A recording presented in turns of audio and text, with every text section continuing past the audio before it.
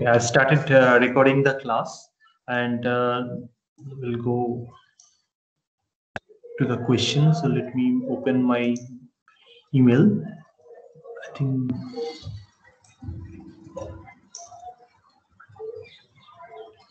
so. In the last class, I asked one of you, I think his name is Janathan Janeshwaran, um, to send his uh, simulation file to me in order to check and clarify his doubts.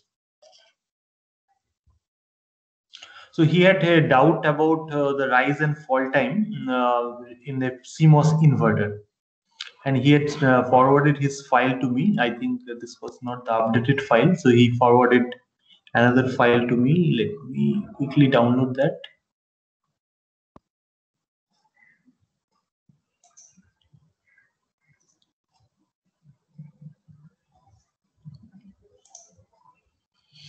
And uh, this is the LT Spice file.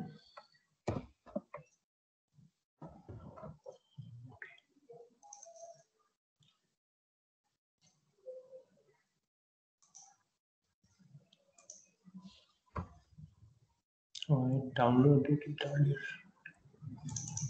Anyways, I'll just download the updated.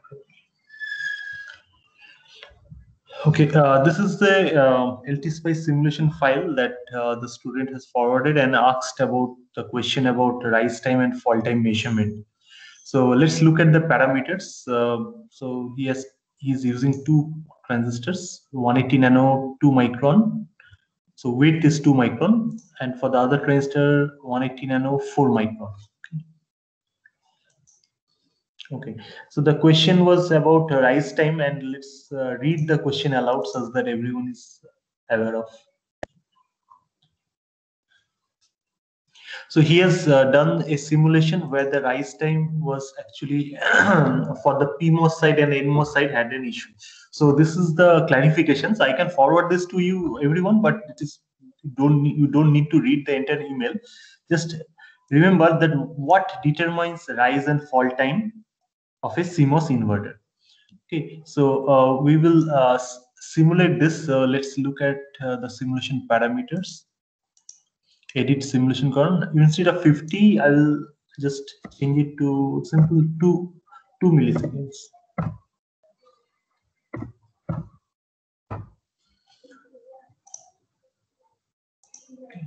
And uh, what else? I think nothing else uh, let's run this file and I'll click here and click here. So this is 4 micron and 2 micron widths for the PMOS and NMOS respectively. So now if you want to measure the rise and the fall time, so for other students who don't know this, uh, so you can always go to view, uh, then view the log and from here you can find TR as the rise time and TF is the fall time. Okay, and this rise and fall times are automatically measured by the software while considering some suitable points. So I am not sure whether this is 10% to 90%. See, by definition, what is the rise time?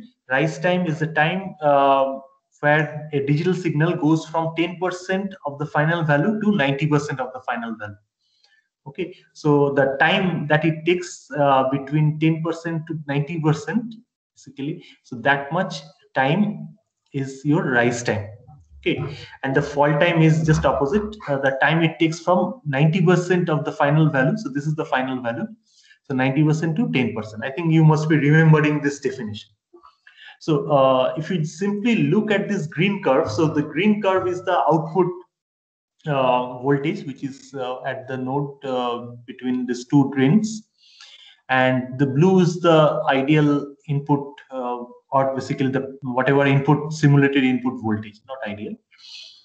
Uh, now by just looking at this green curve look at the slope differences. First of all this part the rise part is not a straight line. It is rather a curvy kind of line with certain slope uh, at every instances. So its slope is not constant everywhere same thing over here. This is another falling kind of line where the voltage is falling from logic 1 to 0, whatever, 1.8 to 0 volt. Uh, but again, it looks slightly different. If you just look at uh, the waveforms uh, visually, you can see the rise and fall are more or less matched, but not exactly matched. Right? In my eyes, I get to see rise is faster and fall is relatively slower. So by looking at uh, this view uh, spice log or error log, you can find the rise is 4.2 uh, uh 4.2 into 10 raised to power minus 5 seconds, and then TF is uh, 7.24 into 10 raised to power minus 5 okay. So now uh, i will stop the simulation. I'll change the width. So let's remember the value. So i'll make it 10 for the pmos okay so nmos again 2 and 180 uh, for uh, pmos it is 10 and 180 okay 10 means the first digit represent width and second digit l in my statement. Okay so if you run the simulation again click at output and input. If you look at it your rise has become faster. Okay so rise time is actually become smaller in fact and uh, just by looking at it we get to see this kind of information right? And the fall time again it remains the same. Because we haven't changed the why the fall time doesn't change? Because uh, the fall time depends on the lower transistor which is nmos and the rise time depends on the upper transistor which is pmos so why rise time is dependent on upper transistor? Because the uh, current through which the output load capacitance is getting charged depends on the voltage uh, basically which is vdd and the voltage and there is a resistance r on during the on state basically the while the MOSFET is on, so we call it R on of a MOSFET. So that R on in uh, which is actually charging this capacitor So this R on multiplied by the load capacitance value represents a time constant. So that is a charging time constant. So charging means from where it is rising, basically, while the voltage is rising at the output because this output green waveform is the voltage across the capacitor with respect to ground. Now, while increasing the width of the PMOS transistor, what we are doing essentially, we are reducing R Okay, so but we haven't touched the NMOS, it is as it is. So the fall time remains the same. So fall time remains the same because while the capacitor discharges while the lower transistor is on, at that time the capacitor discharges through NMOS. And while NMOS is discharges, then NMOS is also offering another R on. So that R on into uh, load capacitance is forming the discharging time constant. Okay, so while the falling action is happening. But uh, from the previous case, 4 micron to 10 micron, I've just increased the width. That means I've widened the size of the, or basically increased the width of the transistor, uh, PMOS transistor. So as a result, R decreased. Okay, so now I will again uh, view the log. If you look at the log, uh, basically, um, then look at this tr becomes 2.66 into 10 to the power minus 5 and uh, the tf remains the same as the previous one okay so from 4 uh, basically um, 4 into 10 to minus 5 we came to 2 into uh, 10 to the power minus 5 so we have reduced so likewise if you keep on uh, increasing the width of your transistor to let's say 20 micron even wider transistor so run the simulation, uh, look at the plot. It has become sharper and sharper, right? So the output, uh, this one is sharper and sharper. And if you give an even sharper input, that means the blues lines uh, fall time is even more abrupt. In that case, this will possibly become slightly uh, higher uh, slope will be observed. So what we get to see, the rise time is uh, different and it depends on the width of the PMOS. So we are only playing with this uh, this uh, side basically where the uh, green curve is going from zero to logic one. So the question now I can go to another extreme where uh, I'm right clicking on this and then make it only two micron. So that means width of the PMOS is same as the width of NMOS. Okay, so both are two microns. In that case, uh, basically I can run the simulation. Look at this. So your rise time is actually slower. In fact, it looks like slower. But if you view the log, it looks something strange. So visually, in my eyes, I get to see this is actually slower as compared to this one. But here in the automatic measurement, it looks the same. Now I have uh, basically we have to uh, see where actually these time points exist. So point triple zero five eight. So wherever is that point uh, with respect to uh, this uh, this one. So now the point is it uh, this value whatever it is taking as a rise time so it is actually considering somewhere over here so at startup so there are initial startup condition right so um, there's the initial condition so at, uh, at uh, before startup we can assume that the system is actually in equilibrium state and uh, basically and it is uh, not initialized basically all nodes are not initialized so at that time so the rise time that this software automatically measures may actually may not be so reliable. So my answer to this question, the, he has asked uh, in the subsequent question uh, that uh, he has another doubt. So while we change from W2 equal to 2 micro to W1 equal to 2 micro versus W2 equal to 10 and W1 equal to 2. So why the uh, fall times are actually doesn't change much okay? So why and sometimes it is showing the same. So it, in fact it is not the same. If visually you can see that the rise time is slower. And you should consider not somewhere over here. Next to time t equal to 0 millisecond and just afterwards. Rather you should consider the rise time you can manually measure from 10% wherever is the 10% 1.8 volt uh, to uh, this uh, sorry 0.18 volt uh, which is 10% and 0.18 minus uh, basically 1.8 minus 0.18 whatever the value. So that point of whatever time you have to note at this point and you have to note the time at this point which is 10% and 90% respectively and then you can minus that uh, and then find that uh, rise time exact rise time so what i'm trying to say is that the software doesn't always give you the correct result unless you set the parameters where it is doing the measurement of rise time and fall time. Excuse me, sir. Yeah, tell me. Sir, uh, in this experiment only, I had earlier tried to measure the rise and fall times in between, like not at the end or not at the beginning. But then also, mm-hmm. like the rise time was increasing on increasing the W value. So I'm I, I'm not sure if it's a fault of the LT spice or something else.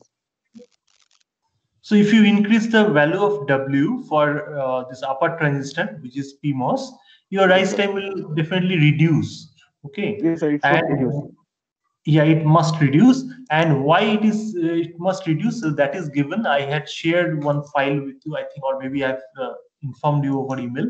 So you have to look at this document where you can calculate the value of r on. So i get to see an equation of r on from this particular document. Although it is old but the theory doesn't uh, actually some basics doesn't change even if the size and all those parameters change. So R is equal to 1 upon mu n Cox W by L into VCC minus V in minus VT. So VT is threshold, V in is input voltage, VCC is the supply voltage, length, width of the transistor, and oxide uh, capacitance in the gate area, and then uh, mobility for the N-channel uh, carrier, which is electron. So by using this equation, if you increase uh, W, then your R should in, decrease, right? And vice versa, because it is 1 upon W. So it is inversely proportional. So increased W means decreased R and vice versa. And uh, there are other documents also I can uh, you can find through internet. So there are tutorials uh, on analog switches and multiplexers. Although we are not doing analog switches as such, but you can see uh, this curve. So if you plot between the signal voltage versus R on, then uh, look at the curves for NMOS and PMOS. So they are actually different. So uh, this intersection should be ideally somewhere on the y-axis uh, over here.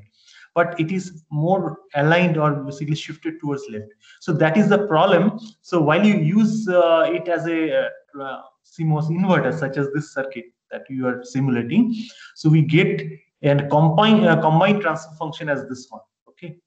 So combined transfer function as uh, basically this kind of thing for uh, on uh, so for this is basically for the transmission switch or basically uh, of a CMOS also same similar thing is happening because in Thevenin's equivalent mode VSS and VDD are short okay? And uh, that means the resistance between this point and this point between the source and drain. So they are both parallel to each other basically you can think. And in that case your combined transfer function actually with respect to uh, not uh, basically with just while plotting r on versus signal voltage is something like uh, moon like uh, partial arc like shape for CMOS. So if you go for only NMOS logic, so this there will be little shift and also PMOS logic.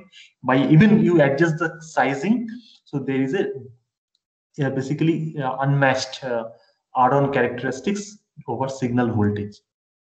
So CMOS by using the sizing and so on, so you can gradually try to adjust the middle of this curvy portion on the y-axis. That is the ultimate aim. Obviously, uh, that uh, exact signal voltage cannot be maintained all the time. So the problem is, so ideally we want a flat straight line, horizontal line, okay, uh, which is uh, not so high in R on. So ideally, while the transistor is on, fully in saturation region, so we need, uh, we expect the R on to be as small as possible but there is a limit because there is a channel and carriers so it offers some resistance finite resistance. But let that finite resistance be very small and you can make it smaller and smaller by increasing width. And also uh, you, you should want that this line to be exactly flat okay? The straight line vertical uh, horizontal straight line uh, which should be very close to the uh, this x-axis but ideally we don't get that the signal voltage can change sometimes plus voltage, sometimes minus voltage, sometimes zero. Depends on which logic you are using or which analog circuit you are using. Uh, so based on that, uh, so the CMOS gives a much better characteristics as compared to R on characteristics as compared to only NMOS and PMOS.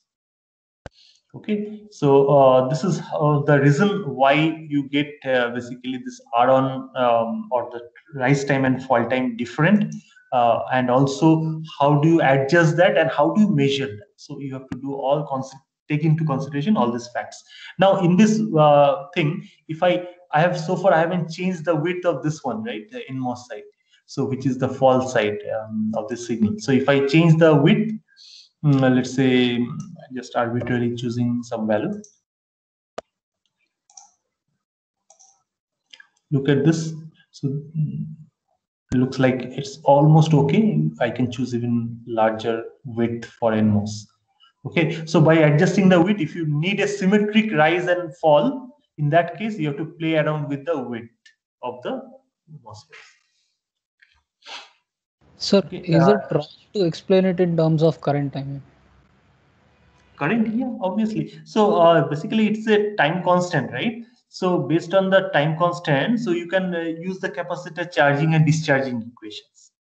Okay, the final voltage and the initial voltage um, equation. So the, basically the charging and discharging equations of the uh, capacitor can be directly applied over for this first order equivalent system. So you are considering our system is a first order. So there is no other parasitic capacitance, which is not true. Inside MOSFETs, there are lots of parasitic capacitance. Also for all these connections external connections they're all parasitic coupling. Even input and output is having one parasitic capacitance. So assuming all those parasitics are absent so this waveform is true. And in practice you'll see there is a slight overshoot here and there is a slight undershoot here in practice. If you measure with oscilloscope you'll find those overshoot undershoots. And those overshoot undershoot signals that means it goes beyond a 1.8 so there is nothing more than 1.8 in this uh, circuit. But uh, during measurement under equilibrium or steady state, you will find that this is going slightly above 1.8 and it's coming slightly below zero. So from where that negative and those more than 1.8 voltages are coming. So that happens due to superposition of charge uh, due to those practical stray capacitance or parasitic capacitances, uh, which are unavoidable. You must have, uh, you must uh, get those capacitances in a MOSFET circuit and also not just within MOSFET but also at a global level. So while doing all these connections. Is it uh, answered, or you want uh, you want you are asking something else? No, sir, it is answered. Thank you. Okay, good. Okay, so I'll uh, stop this. Uh, let's see. Okay, so uh, now I request Parth uh, to start with the common source amplifier. Um, active. Me, uh, sir. Like, do you want me to share? one doubt. Yes, sir. Yeah, yeah, doubt. Yeah. Yeah, sir. Uh, in the previous experiment, um, like the KP value used was around 0.04 for the NMOS model, and for that the Mhm. gain was like 18 dB or something like that. But um, like if you use like in like other in like previous models like model files, then then the KP value for that for those models is naturally not that high. So we are getting low low values of gain. So um, do we Mhm. use your KP values or do we include or do we like use like other like inbuilt Oh. models?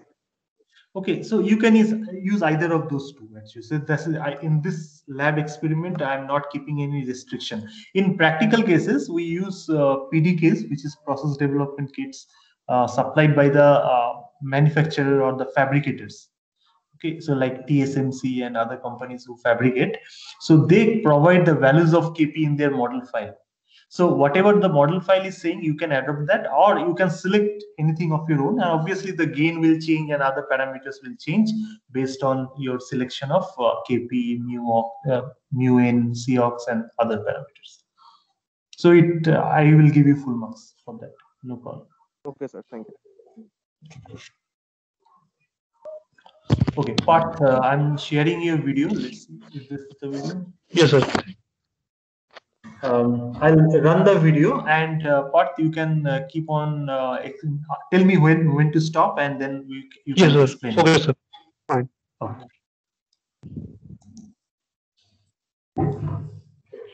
Uh, sir, uh, sir, one second, sir. Uh, Yeah. Sir, I, I, I sent you another video yesterday. Have you checked that? Yeah. Yesterday, let me. Oh, yesterday you have sent another video. Yes, sir. Just That's why I was. Uh, I can explain this also, but sir, there are a few points I missed in this video that I covered in that Yeah, video. exactly. I saw. I checked this video. Maybe I missed it. Uh, let me check.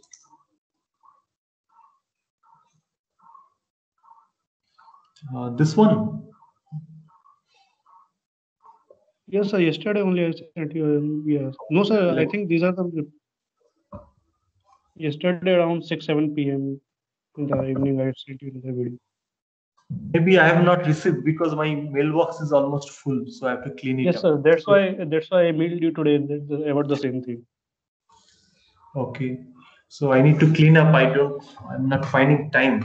So, anyways, uh, what to do? So, do you want to proceed with the older video and Yes, then sir. Later I will give you the proceed, but, but sir, if you, you can share the, the new video with the students, so I have mentioned few more points in that video. That's why. Okay, so why don't you uh, orally mention those points in this video Yes. along with the old video, and uh, afterward I'll clean up my mailbox. You send me the again the video that you were Okay. trying to send yesterday. I'll upload them, upload that for the students. Okay, sir. Fine. Oh.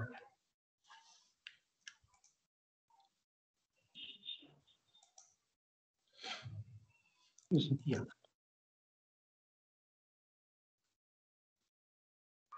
So this is the typical circuit for common source amplifier with active load. So what is an active load? You can see in this circuit, I have, I have you in previous circuit we were using resistive load for the amplifier.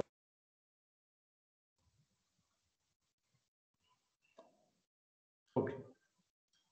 So uh, you can also explain why you have ignored the biasing and how you are actually compensating by using this thing.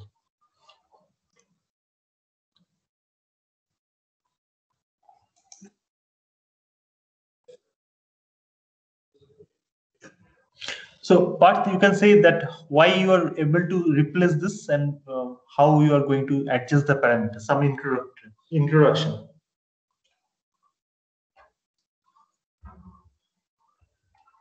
Can you hear me?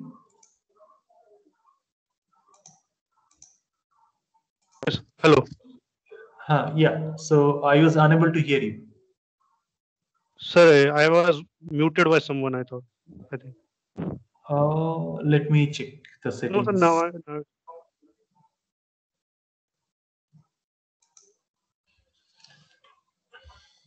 Okay, uh, you can introduce the circuit. I was introducing, but someone muted me, I think. Okay, oh, so uh, let me check. Okay, uh, but uh, just a moment. I will check the permissions.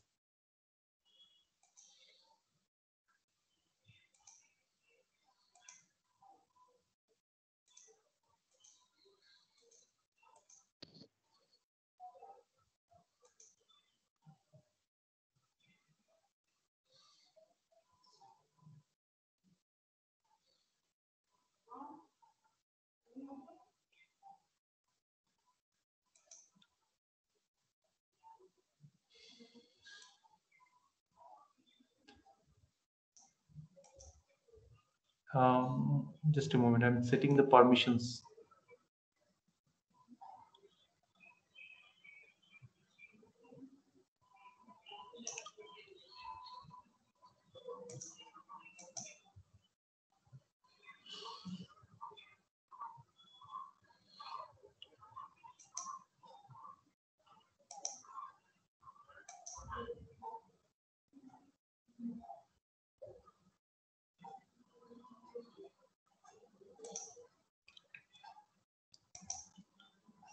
Uh,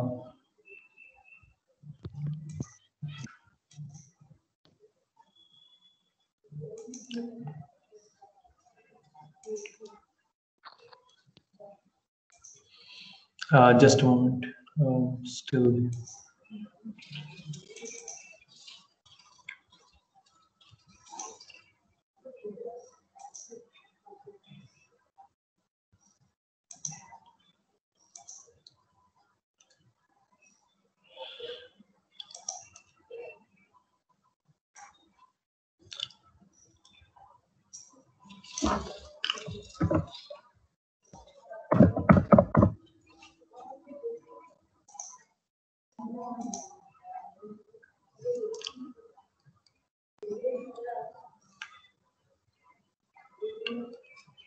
Um,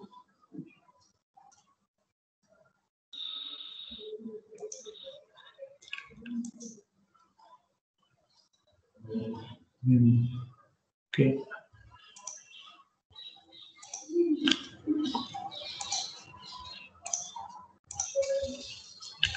Okay, uh, Parth, can you speak up a little bit? Yes, Yeah. yes, sir. Can you see the screen? Yes, sir. Thank you. Okay. Yeah. I will start. Yeah. So this is a common source amplifier with active load. So instead of the resistive load in the previous circuit, uh, we are using an active load in the circuit. Active load is basically a current source. Uh, in in this case, I am using a PMOS in saturation. Otherwise, you can use a current mirror also. So this will act as a load for this amplifier.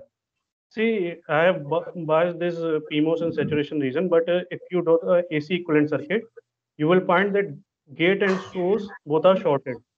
So gate to source connected MOSFET will work as a load in uh, AC equivalent circuit, and uh, equivalent resistance will be RDS, small RDS.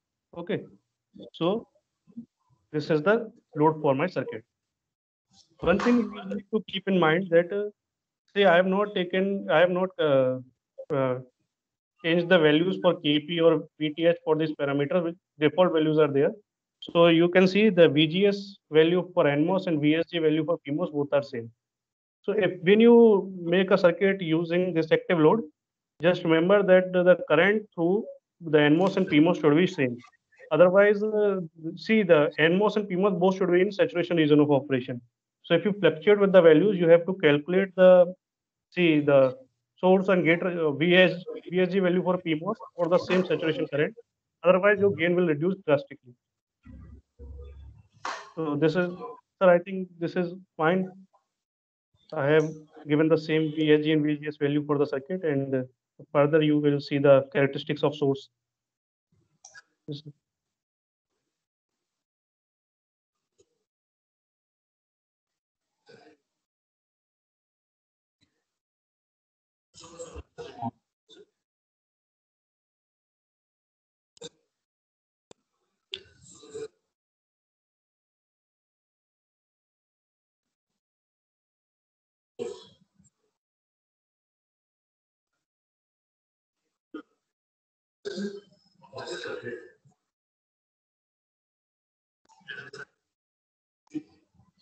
Okay.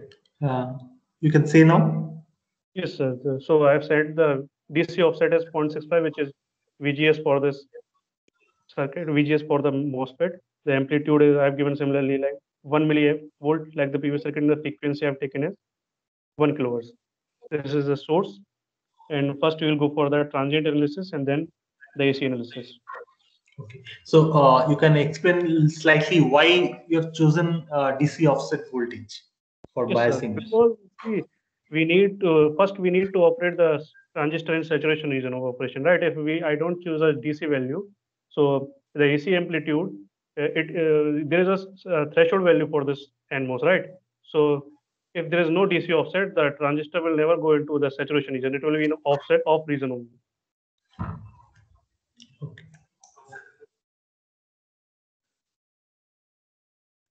DC offset is typically the VGS value for the transistor.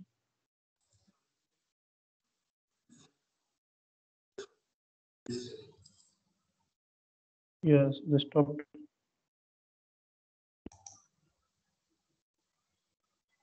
Yeah. Say. Yes, so this is the output for the circuit. Uh, you can see that uh, there is uh, the amplitude, input amplitude was 1 millivolt sine wave. The output is uh, varying from some 0.7 volt to 1.1 volt. I've, I've checked it. And uh, so the gain is high, quite high gain, and the 180 degree out of phase, which was required. We know that for common source amplifier, the output is 180 degree out of phase for input. Right, so yeah, this is the simple transient analysis for the circuit. Yes, sir. Fine.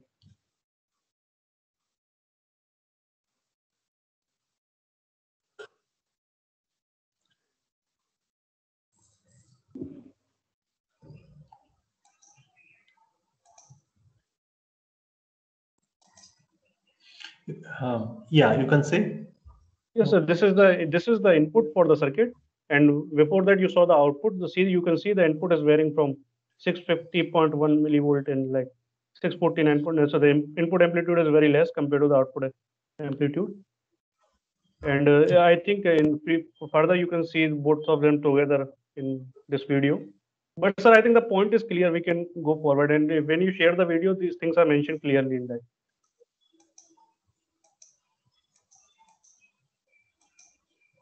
Yeah. Uh, for the, someone, yes, sir. Someone asked that uh, can we change that uh, AC amplitude from one to one milli anything we want? But sir, I have checked that that if we change that uh, AC amplitude, then the gain is getting affected. So uh, there is there is I think the, we need to change the output command for that. So uh, right now I have done with AC amplitude one only. And uh, further we can check, uh, the, but the amplitude is getting gain is getting reduced if we change the AC amplitude here. Hmm. So there might be some issues with LT Spice also because LT Spice is not a very professional and accurate software. It is a, usually it's easy to use but lightweight software. So Cadence will tell you the final answer to this question. So you, you- if you want to check like this only, you can use AC amplitude as one. You can change Yeah. other other values if you want to check other things. Yes, I've just changed the source. Yeah. AC DC offset should be there to maintain that.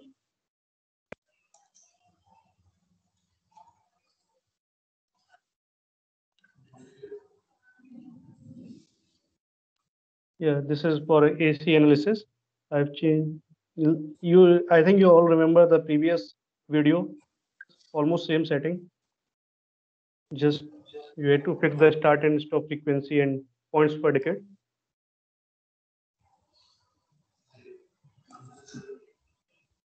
Yeah, you can say now. Yes, just need to click on that output. You can see there's a quite high gain, but the but uh, this bandwidth is uh, quite low, not very high bandwidth for the circuit. So I, this is like uh, this was a you this circuit needs some improvement um, to get the high bandwidth. Uh, this in this video, I think I have not done that, but uh, the video you will get the, the video with sir will share with you you can see the other things you can make other things to get the high bandwidth. You can do other things. Okay. So this circuit, similarly like the previous video, you can calculate the 3 dB frequency for this amplifier. You can say that there is no lower cutoff because uh, in the previous circuit there was a blocking capacitor at input end. In this circuit, I have not used that. Because of that, there was a, a lower lower cutoff also, 3 dB cutoff also. But in the circuit, there is no lower 3 dB cutoff. Only at uh, when you increase the frequency higher, you'll get a 3 dB when 3 dB frequency. Okay, thank you.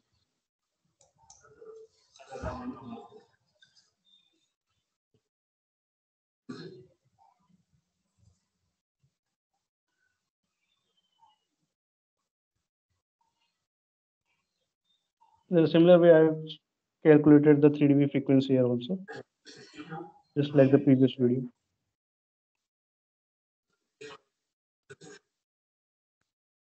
Yeah.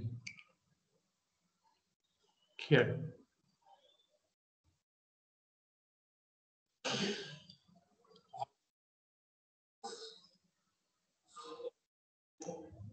You can explain that? Yes, sir.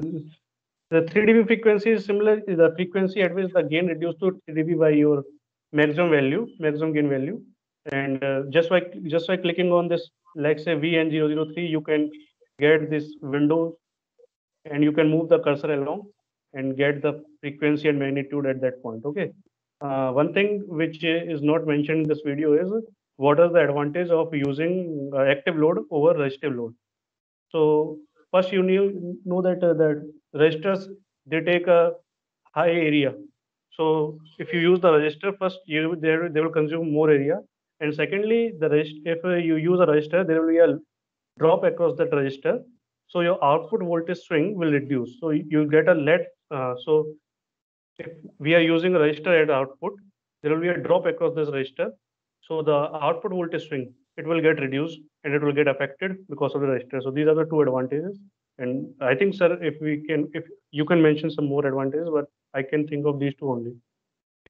Yeah, so you're right actually. So space is the main advantage uh, for using the active load. Basically, the upper resistor is replaced by a transistor, and also uh, by if you need a programmable gain, for example, if you look at the schematic. Uh, yeah, so if you need a programmable gain, uh, in that case, you can change this biasing voltage or if you need a fixed gain, just set the WA L of the PMOS transistor and put it in a diode connected mode. In diode connected means the gate is connected to drain, okay, for PMOS.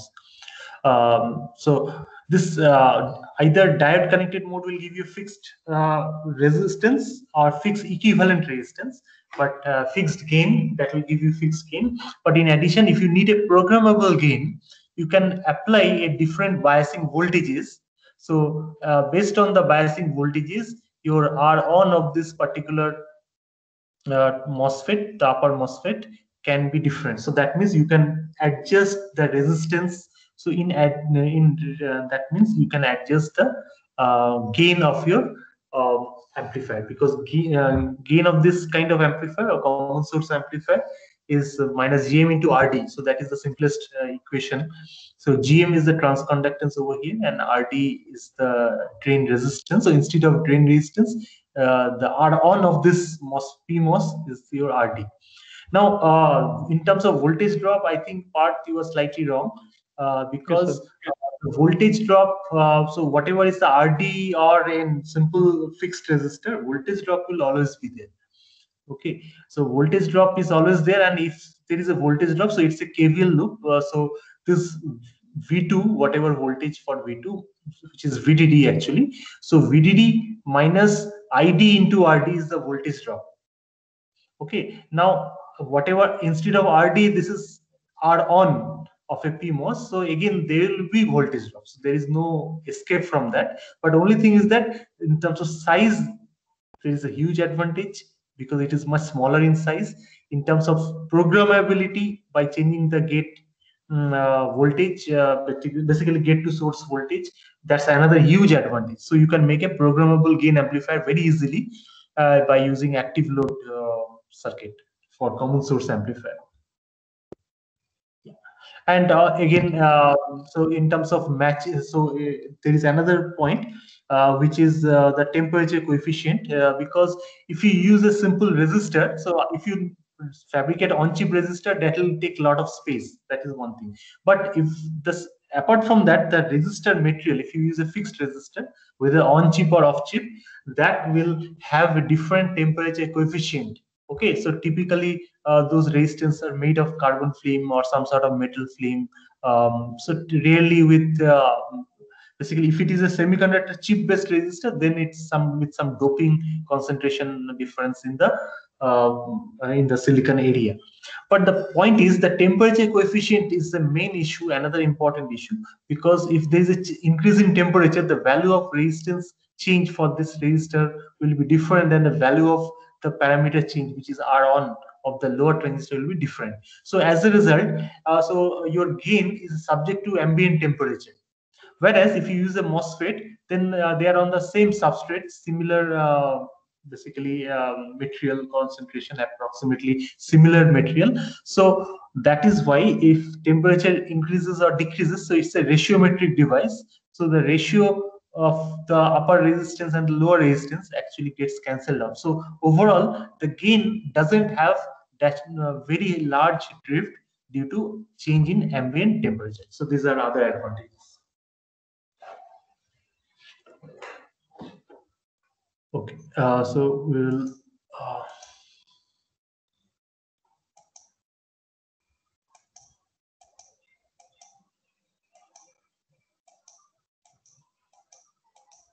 yeah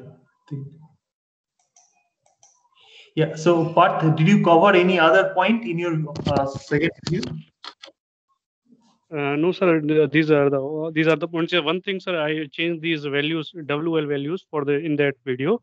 So okay. there is the drop there the see the gain in that is typically 42 or 42 dBs something like that. And uh, if i change the wl values the reason of operation was just for this uh, uh, transistor was changed so the gain was dropped drastically in that video. You can see that in that video. I think the, the reason was the reason of operation was changing for the transistors. So from which region to what region? So you are operating at saturation here. So yes. was that a triode operation? Yes sir the, that was checked so at a pmos if so it depends on what, what value you are changing. So maybe the pmos was changing to tri triode region and that's why the uh, equivalent resistance was dropping. So the gain was dropped uh, by a large value, I think. Okay. So the point uh, basically uh, what Parth is saying that you have to keep track of the region of operation. So for common source amplifier, your lower resistor, uh, lower transistor, basically the NMOS must always be in saturation. But the PMOS, you have flexibility. You can keep it either saturation, uh, preferably in saturation. But triode is also possible. But with triode, there is a if there is supply voltage variation, then you might get in different Q point. Okay, so this is the meaning that if you keep the upper, preferably you should keep M2 in uh, saturation mode. But in case if it is in triode due to your adjusted voltage over here, uh, then it will still work as a resistor. But the point is, if there is slight variation in supply voltage, let's say you are using a battery of um, 3 volt and from there you are using 1.8 after voltage regulator. So if your voltage regulator fails or if you have some change in the voltage uh, output, uh, I mean power supply voltage due to whatever reason, there could be noise also. Uh, in that such in such case, the R, on of this upper transistor is going to change. And if R on changes, obviously your gain will fluctuate. So that means with power supply, your gain will fluctuate if you keep it in triode region. So preferably you keep it in saturation. And lower one must always be in saturation mode.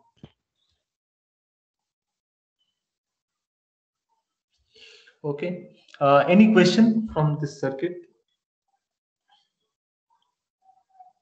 So you have to do uh, transient simulation as well as uh, AC uh, simulation. Look at uh, the, another point over here. So at startup, look at this waveform. So this is not a sine wave. It is. It looks like a some noise before the circuit really starts with the sine wave signal. So uh, if you do any measurement at this point, uh, that is going to be ignored. Okay, so you must ignore the initial few millisecond time preferably and take somewhere from the middle. So you can show uh, three or four uh, cycles. That itself is good enough. Uh, more is also enough, but don't show thousands of uh, cycles over here. So that is also too cluttered. So make sure your sine wave is easily visible, it is readable and so on. Okay, any question from this common source with active load?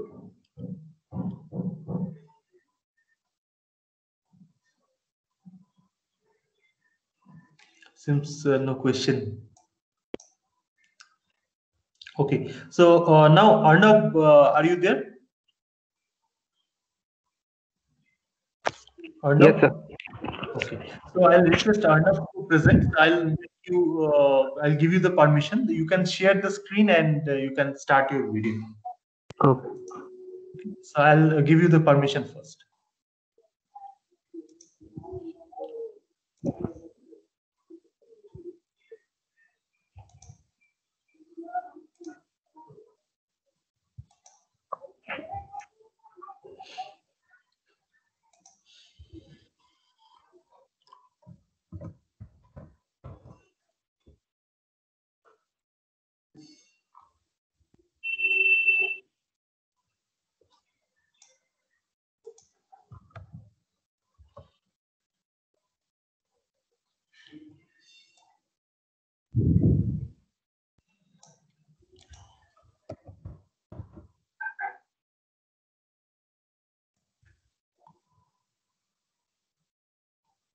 Okay, Arnab, I've shared, uh, I've given you the permission to share the screen. You can start sharing your screen.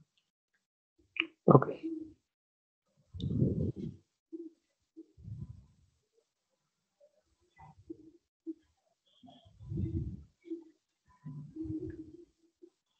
So Arnab will be discussing about the cadence equivalent design practices uh, for designing uh, common source amplifier, both uh, resistive load as well as active load. Can you see the video? Yeah, I can uh, see you screen. Yeah. Okay. So here we have uh, the two CS amplifier. This is the resistive load one. Another one is the common active load one, diode connected active load. So I like to correct one thing here is that uh, a diode connected MOS is is when you connect the gate and drain together, not the gate and source. If you connect the gate and source together, the MOS will be off forever. Oh, yeah. Okay. So these are the sources. It must be gate and drain, obviously. And for the PMOS, the load side terminal is the drain terminal. Yes. So this is these are the sources. We have the alias ground. VDD is the supply. Uh, we have VG. So this will be this VG will act as a biasing source as well as our AC input source. And this is a sine wave to test the transient characteristics. Now I'll show you what the VG has. The VG has a bias voltage of 600 millivolt. You can get it by resistor divider circuit, but in case of CMOS, we use separate band gap reference, and from that band gap reference, we use current mirrors to get our desired voltage. So I've used a 600 millivolt bias voltage and an AC magnitude of 1 millivolt. This is used to test the gain and phase of the circuit.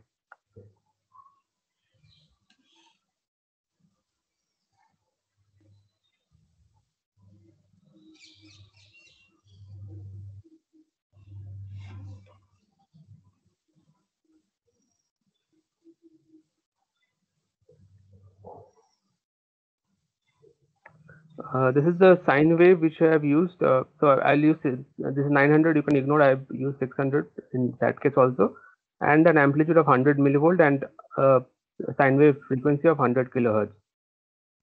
This is just to test the transient characteristics.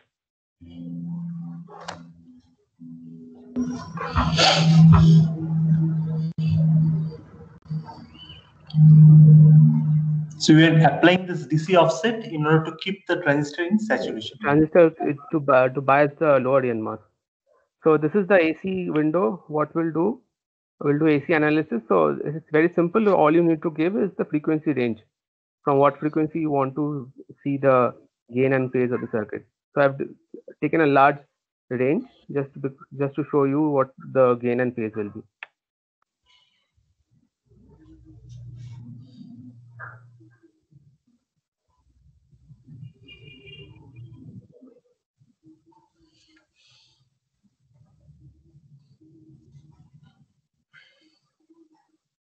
So this is to simulate the circuit.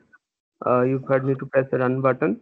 So we'll check both the V out and V out one. V out is the uh, one with the resistive load and V out one is the one with the active load.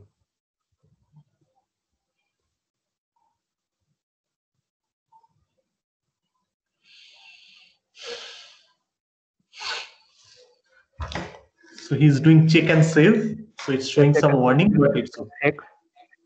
Uh, this the warning is because the V sign signal is not connected anywhere, right? It is open. So I'll only use it in transient simulation. That's the warning you're getting.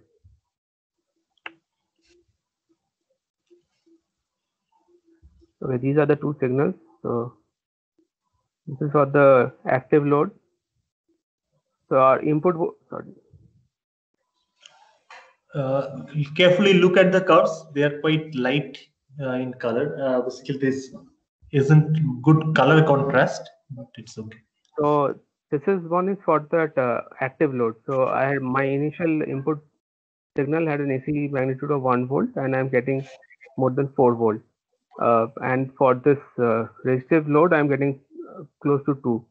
In case of CS amplifier and uh, TSMC or any other process, uh, the maximum gain you can get is close around 20 dB. So in order to get higher gain, you have to use an op amp or a telescopic amplifier. So there are limitations uh, of common source amplifier using single stage. Either you have to use multi-stage multi-stage Format or or- you have to use uh, for op amp based of a kind of five pack circuit.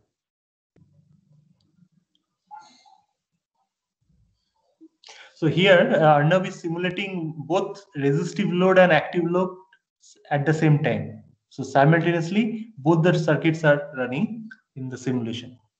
You can also do the same thing in LT. Yeah. So in order to see the there's a very special feature in Cadence. You can see the gain and phase.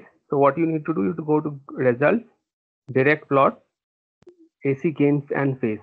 AC gain and phase is this one. Results, direct plot, AC gain phase. So once you go there, what you need to do is click on your output wire and the input wire. So this is my output wire for resistive one and the input is my VG. So I'll click on it and it will give me the gain and phase plot. So this lower one is my gain plot and this is my phase plot. So you can measure the phase uh, phase margin, uh, the 3 dB frequency and everything. So what I'll do, I'll just see the phase drop here. Since this is a single pole system, so the phase drop will not be much more than 90 degree.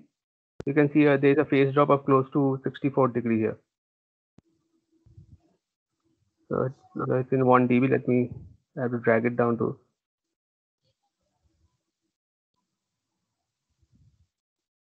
Yeah. So once you drag it down to say close to 0 dB, you can see that phase drop is 70 degrees. So in order to get this line, you need to press V on your graph. So when you, once you press V, there will be a vertical line. I'll do the similar thing for the active load. Uh, you- again, you have to go to results, direct plot, AC gain phase, and click on the output wire, then the input wire.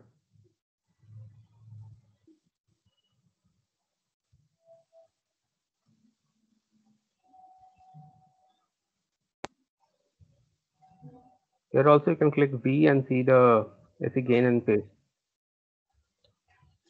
The pole is located closer here because the MOS itself introduces some parasitic cap. So the pole location is closer to the origin.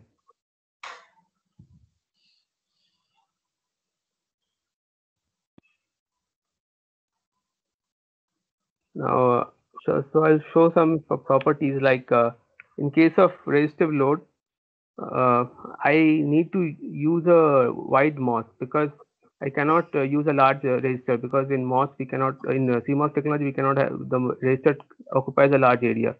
So what we need to do, we need to increase the W, hence the GM will increase. As a result, our gain will be sufficient. So here we have to use a larger width of the MOS, uh, which can be a disadvantage. That's why in most cases we, in case of CMOS design, we use uh, diode connected MOS as load.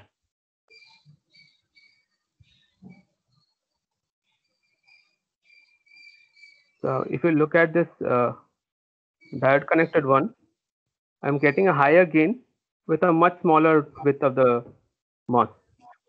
So in this case, the gain is given by GM of the lower, lower NMOS divided by GM of the PMOS. So this PMOS, if you look is in terms of AC resistance is give its resistance is 1 by GM. So my overall gain is GMN by GMP. Now if I uh, increase the width of this one, my GM will increase, hence my gain will increase. So I need to keep this at a minimum width. Also, I have to consider the drop across this also. Hence, as the drop should not be more. uh, Otherwise, the Q point will will uh, come down to a lower level. I will uh, show you the current consumption in, separately. So next, what we'll do, I'll just see the transient characteristics. So I'll just uh, remove this uh, VG and use V sign. So the V sign, the sinusoidal signal with a DC bias.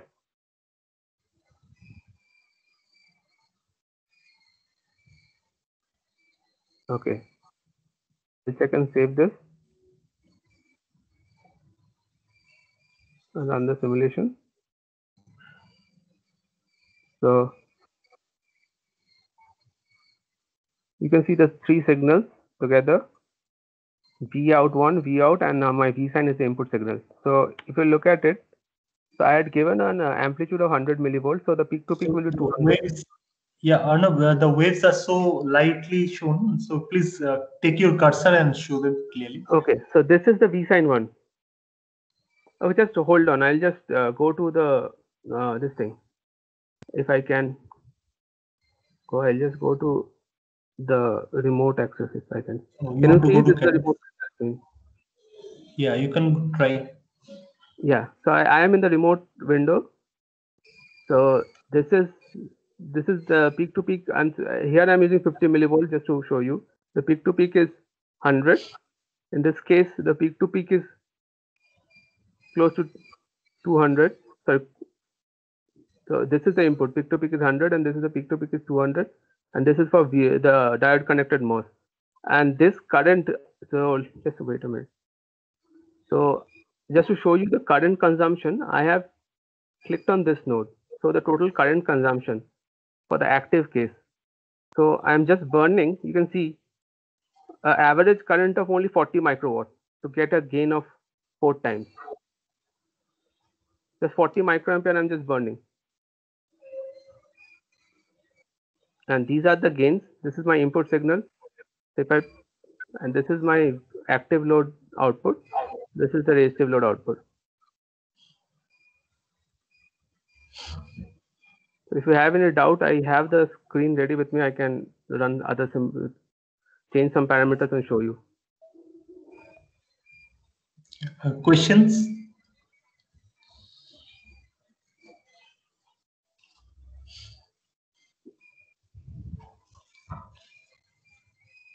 Uh, Can you go back to the it's- graph? Sorry? Can you uh, go back to the graph for a second, like the four graphs? Yeah, sure, sure, sure. This one.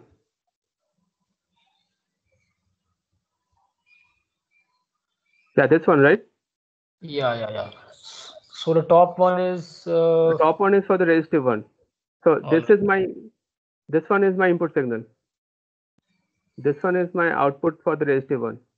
See, there will be a D- DC bias because uh, it will be on top of a DC signal in between the resistor and the MOS.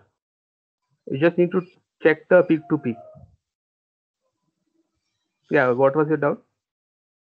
And the lower two signals are like uh, Uh, this is for the active uh, load output, and this one I'm just showing you the current. So the current across this tran- transistor.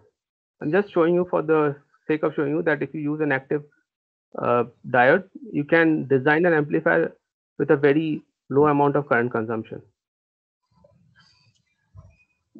and it's it's it's like deviating from the sine characteristics the the v also right the output uh, the white Yeah. plot so This it one, is yeah, like this is much input basically right the sorry. input the input is too high and therefore it, is going out Yeah, that the, is. If you reduce the input amplitude, it will give you a proper signal, or you can uh, just uh, change the Q point, just re- uh, adjust the sizing of these two, so that this is at 0.9 volt, midpoint of 1.8 and 0.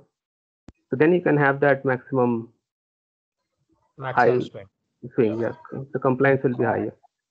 Arnab, possibly your uh, NMOS is going out of uh, saturation. That's why you're getting those kind of flattish thing on the bottom side of yeah, white. the- yeah, maybe. So Or you can add an offset to the input or reduce the input voltage. yeah, I can try that. Just hold on. So there are different ways to combat such problems. So either you have to add some offset voltage uh, along with the sine wave such that it stays always in the active region. So the Q point should never leave that uh, saturation region. I mean.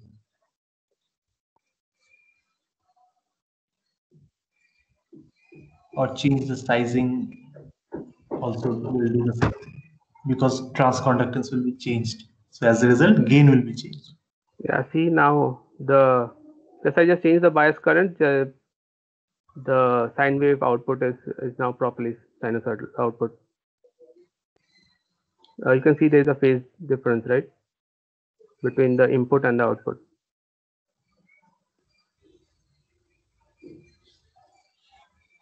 So I just made the uh, bias, uh, the DC voltage from 600 millivolt to 520 millivolt.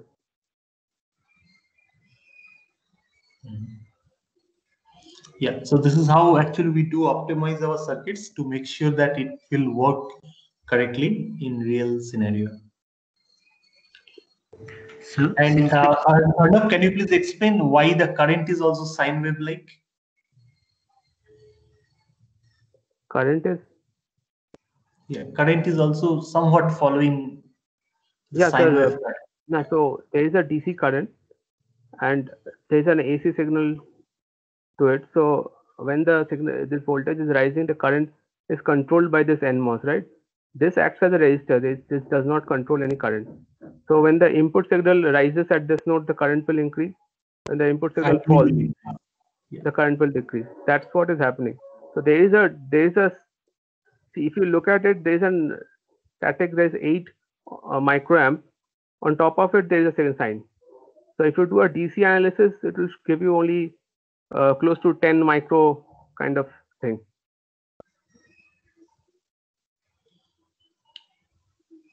Yeah, good.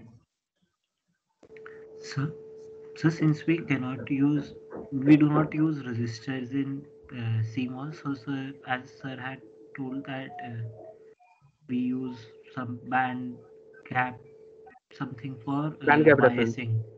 So, so sir, for our simulations also we should not use any resistors, and wherever biasing is applied, we apply voltage source. No, in case of biasing, you are using a voltage source. We are using only voltage source. We are not using any reference. The reference itself is a circuit. Uh, no, Uh, sir, I, I Arnab, meant this question is about PMOS actually. So Oh, can we use a voltage okay. source that what See, we see, there are shown in- there's two ways. You can either give a bias voltage to this PMOS and bias this branch. If you bias any of this, the branch will have the same current, right? It's a the current is flowing from this node to this the ground. Now I can either bias this PMOS or you can bias this NMOS. But when you bias this PMOS, you have to use a just a DC voltage. Your sinusoidal will be here. Otherwise, if you are doing a CS amplifier, with load as NMOS and input as PMOS, what you will do, you'll connect this from this gate and drain. This will act as your load, and you will apply your bias and your signal at the PMOS. So is it clear? You can have CS amplifier both ways. You can have the input as the NMOS as well as the PMOS, and the other one will act as your load. Yes, sir. Uh, sir, so that that was fine. Uh, sir, I wanted to ask for simulations that we would do now or for future. So, sir, Mhm. we as you have done to use a uh, voltage so for yeah, for input, now, we for this, uh, yeah, you can use a voltage source for Yes. simulation purpose for this group course. yes, sir. Sir, Yeah. uh, sir, in this, uh, is there any way, means, is the lambda parameter already set or we have the ability to set it as well? No, no, you don't have any. You only you have the control over width, length, and the biasing voltage. The rest of it is set by the foundry. Okay, uh, so there are two ways to look uh, at your question. So lambda, there is something with layout. There is a lambda rule, and there is a lambda ch- channel and modulation parameter lambda. Okay, so which lambda are you talking about? Okay. So the channel length one. Okay, so the Channel channel and modulation parameter is already taken care in the model file in the background because this is TSMC uh, 180 nanometer PDK. So this is much more formal model which is available and much more accurate also, uh, which is already loaded uh, in the background for Cadence simulation. Sir, uh, and also while you were plotting the uh, gain dB versus phase and all, uh, there was an option to plot uh, magnitude dB and phase as well. So what's the difference between them? I'll be back in some time. Yeah. So gain dB is gain is uh, your V out by V in. Okay. So it's uh, 20 log V out by V in. Gain, gain dB. And um, I think magnitude dB. You don't have a magnitude dB. dB is a I think it's a ratio, right? You cannot have a single term to denote a decibel function. You can either have a power dB, power out by power in 10 log P out by P in, or 20 log V out by V in. Is it clear? Yes, sir. Uh,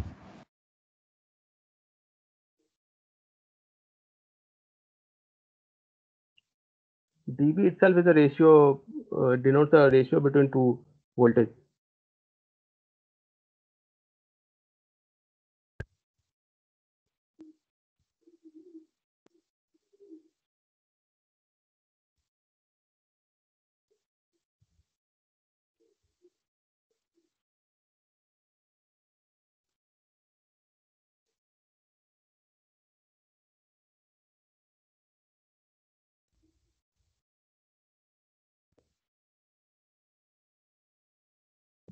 Is there any other question?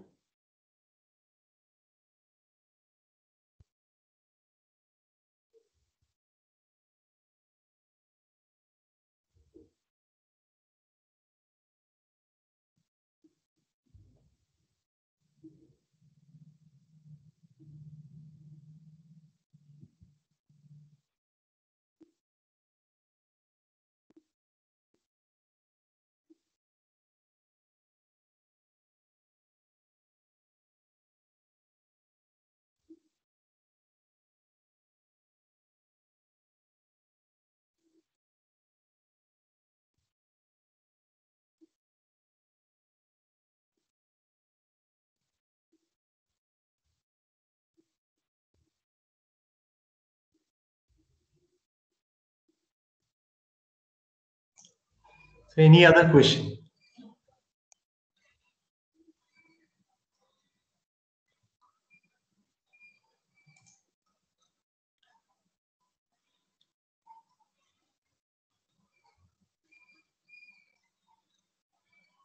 Okay. Um,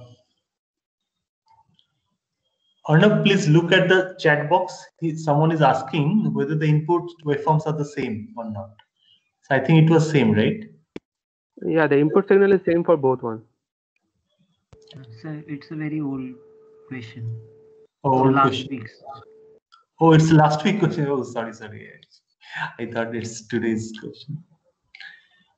Okay. Oh, that's 18 one, yeah. Okay, any other question about uh, common source amplifiers? So again, Cadence part, we'll ask you through Viva or some sort of other theoretical question, uh, whatever we'll be covering based on that only. So you have to, I'll upload uh, both the videos today and then uh, you have to study um, and then you have to repeat the LT spice side, but Cadence side, you just have to watch it and understand. Okay, in the next uh, week, uh, by next week, you have to upload uh, the common source amplifier, uh, both the side parts. And then uh, you have to, uh, then next week we'll cover op-amp and also we'll see if layout time remains, we'll consider layout as. Otherwise, we'll consider layout as next to next week. So essentially, we have uh, two more class slots next week and the week afterwards for analog, and then analog classes will stop.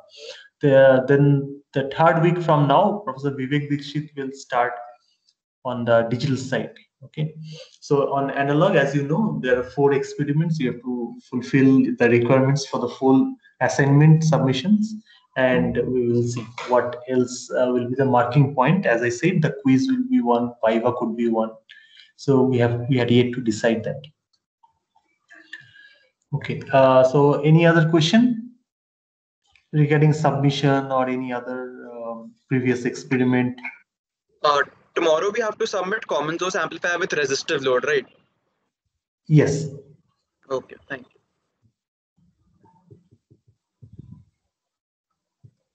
And for experiment okay? one, yeah. Yeah, tell me. Sir, is it okay if uh, I can ask doubts on first experiment now? Yes, sure.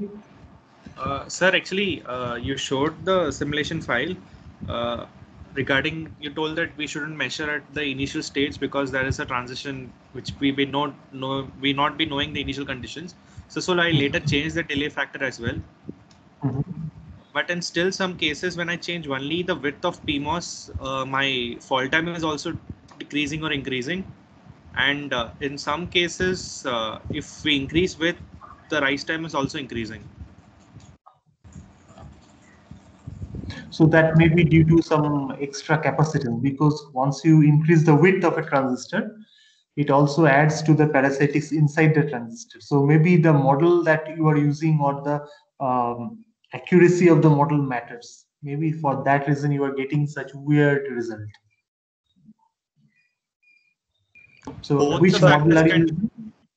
That one default one. Default one. Okay.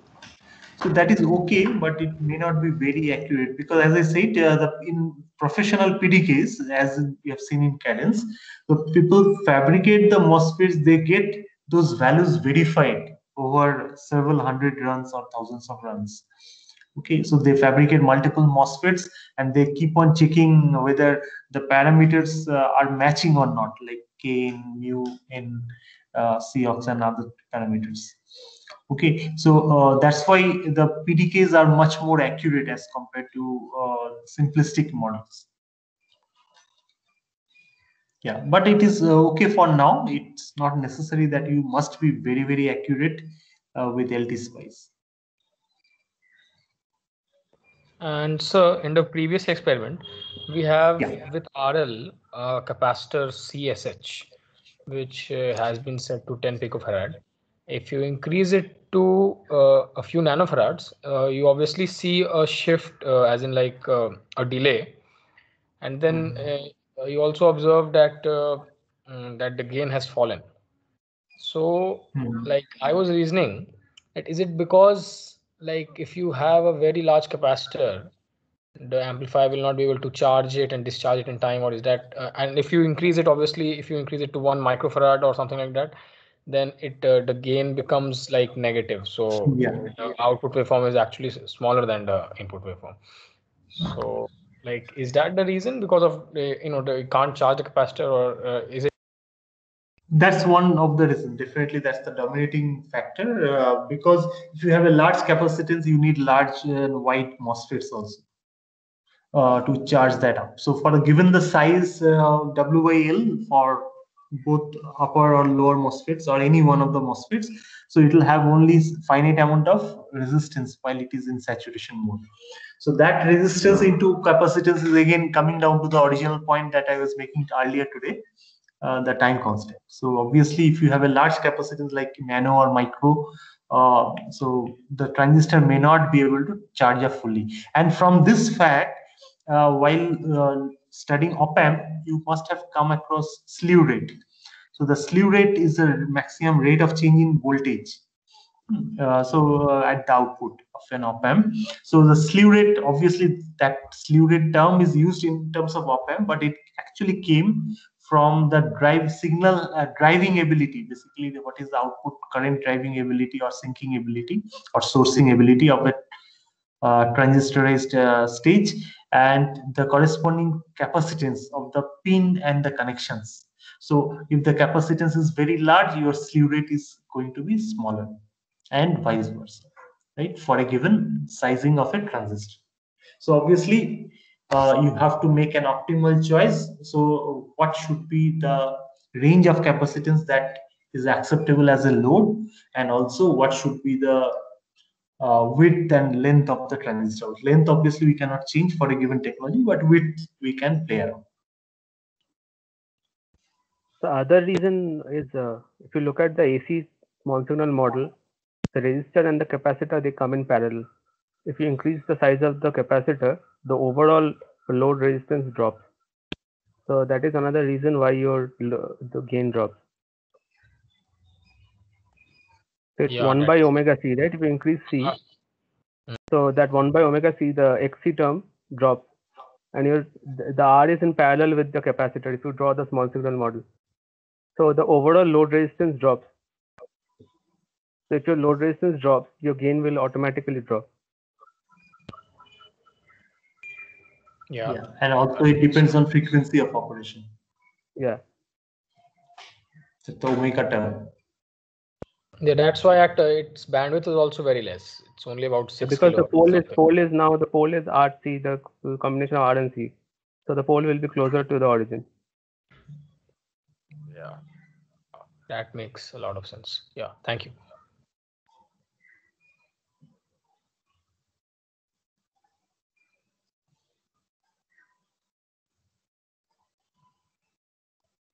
Any other question?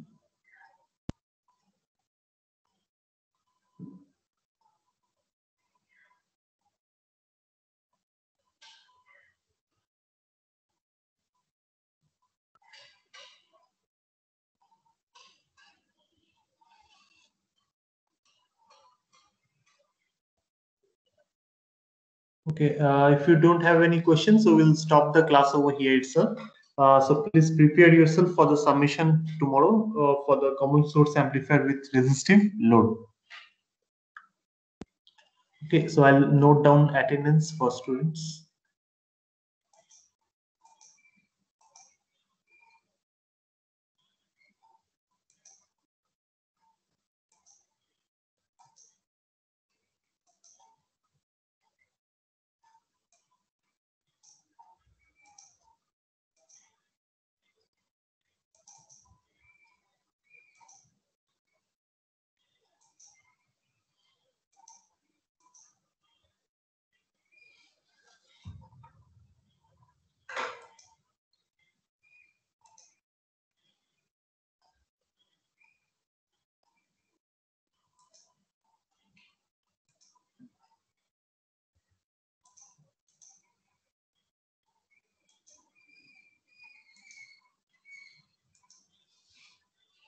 I'll stop recording.